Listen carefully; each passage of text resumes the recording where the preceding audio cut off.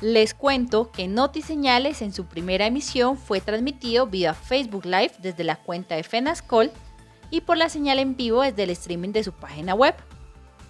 En esta emisión nos acompañaron 400 espectadores.